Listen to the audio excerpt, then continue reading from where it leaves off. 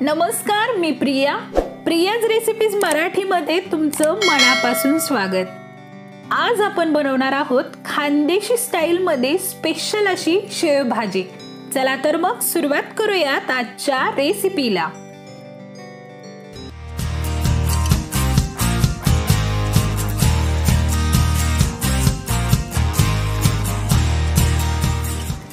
Khandeshi style शेवभाजी बनवण्यासाठी सर्वात आधी आपण काळं वाटण बनवणार आहोत.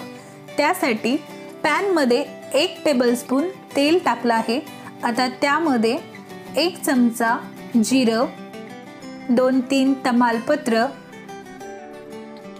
दोन चार लवंग दोन दालचिनीच्या काड्या दोन हिरवे वेलदोडे टाकून घेतले आहेत. यानंतर यामध्ये दोन सुक्या लाल बेडगी मिरची आणि दोन टेबलस्पून पांढरे तीळही टाकून हे सर्व कच्चा मसाला व्यवस्थित परतून घ्यायचा आहे. आता यामध्ये एक वाटी सुक्या खोबऱ्याचा किस टाकून आपण तो व्यवस्थित डार्क ब्राऊन कलर होईपर्यंत परतून घेणार आहोत.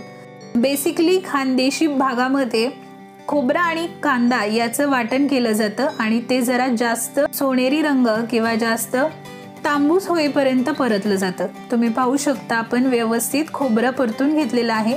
आता हे सर्व मसाले मी काढून घेते. त्यानंतर त्याच पॅनमध्ये आपण कांदाही परतून घेणार आहोत. इथे मी दोन मीडियम आकाराचे कांदे उभट आकारामध्ये चिरून घेतलेले आहेत आणि तेही बिना तेल टाकता मी परतून घेत आहे. तुम्ही पाहू शकता कांदाही आता छान परतायला सुरुवात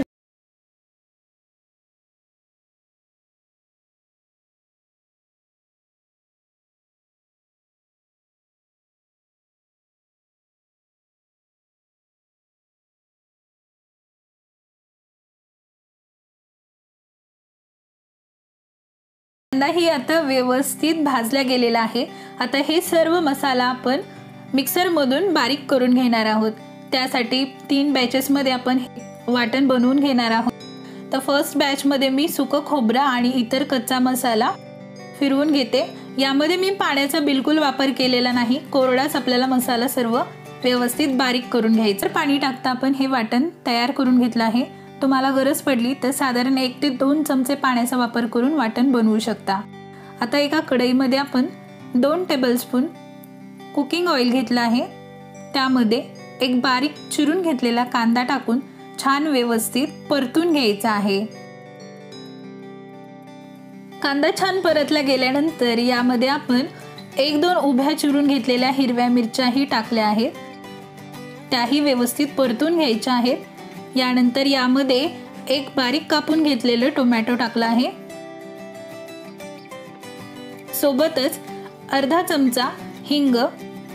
हिंगामुळे भाजी आणखीनच स्वादिष्ट बनायला मदत मिळते. हे सर्व आता आपण व्यवस्थित परतून घ्यायचं आहे. यानंतर यामध्ये आपण अर्धा चमचा हळदी पावडर टाकली आहे. तीही व्यवस्थित परतून घेणार आहोत. आता यामध्ये आपण घरगुती बनवलेला काळा मसाला एक चमचा आणि सोबतच काश्मीरी लाल मिरची पावडर अर्धा चमचा टाकून हे सर्व व्यवस्थित मिक्स करून घेणार आहोत.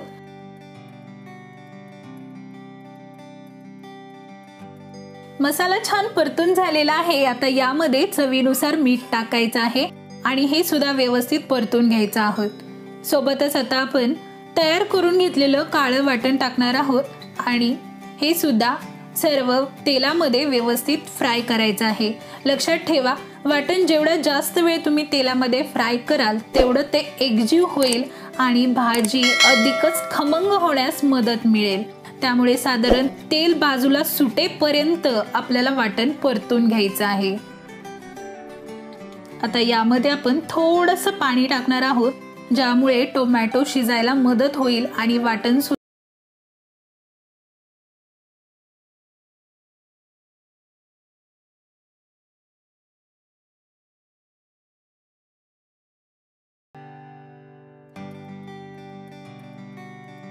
आता झाकण ठेवून साधारण पाच मिनिटासाठी मसाला शिजवून घेऊया. पाच मिनिटानंतर तुम्ही पाहू शकता मसाला मस्त शिजला आहे आणि तेल सुद्धा बाजूला सुटलेलं आहे. आता यामध्ये आपण पाणी टाकणार आहोत. तुम्हाला जेवढा रस्सा हवा तेवढं तुम्ही पाण्याचा वापर करू शकता. शक्यतो जास्त पाणी वापरलं म्हणजे पातळ रस्सा बनवला तरी चालेल कारण ज्यावेळेस आपण यामध्ये शेव टाकू त्यावेळेस तो आपोआपच दाटसर बनतो. रश्शाला छान उकळी फुटायला सुरुवात झालेली आहे. आता यामध्ये आपण शेव टाकणार आहोत. शेव भाजीसाठी लागणारी शेव अशा प्रकारची असते. जाडसर आणि थोडी लालसर. तयार रश्शामध्ये आपण थोडी शेव टाकणार आहे ज्यामुळे रश्शाला सुद्धा दाटसरपणा येईल. शेव टाकल्यानंतर साधारण एक ते दोन मिनटंच गॅस चालू ठेवायचा आहे. बऱ्याच ठिकाणी आधी रस्सा वाढला जातो आणि वरून शेव सर्व केली जाते. परंतु जर रश्यामध्ये आपण थोडीशी शेव टाकली तर रश्याची चव आणखीनच वाढते. आणि अशा प्रकारे खानदेशी स्टाईलमध्ये काळ्या वाटणातील शेव भाजी बनवून तयार आहे. वरून आणखी थोडीशी शेव आणि ताजी कोथिंबीर टाकून आपण सर्व करणार आहोत.